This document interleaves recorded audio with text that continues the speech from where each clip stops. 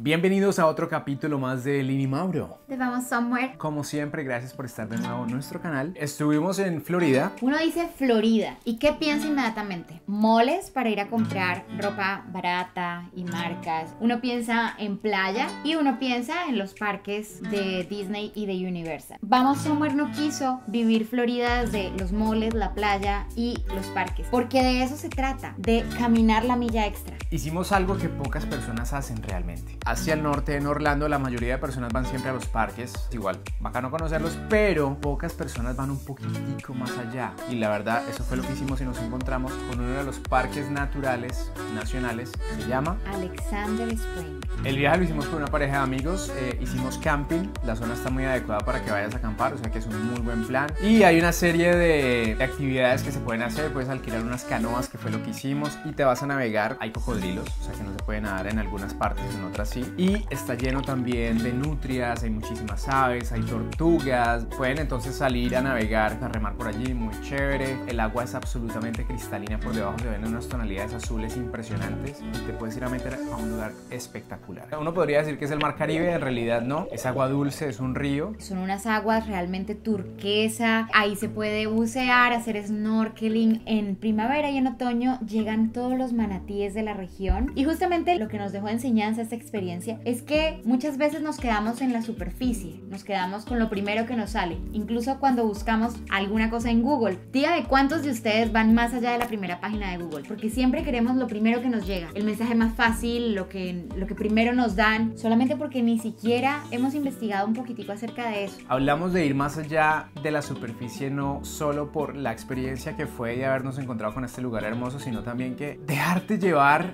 por el impulso de ir un poquitico más allá.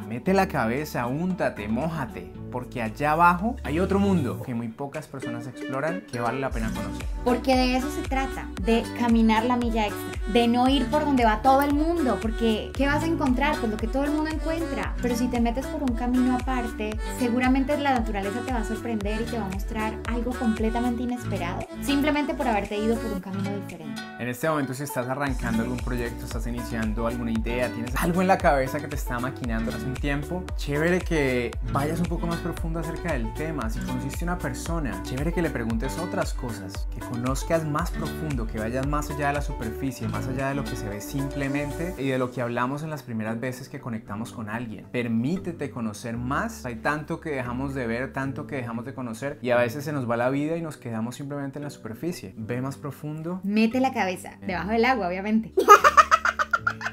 Esperamos les haya gustado. Por favor, no olviden darle like al video y ayudarnos a compartir este mensaje con todas las personas a las que ustedes crean que les puede servir. Nos vemos en el próximo video. vamos somewhere.